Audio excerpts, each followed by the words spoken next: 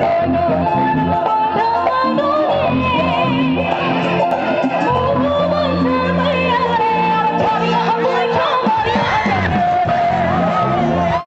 आज हमारा कॉलेज का लास्ट प्रोग्राम है और कॉलेज पे जाएँगे, वहाँ पर सिंगर आएँगे, बहुत ज़्यादा एंजॉय होगा और आप लोगों के लिए एक ब्लॉग बनाएँगे। तो वो डायरेक्ट कॉलेज पे मिलते हैं अभी।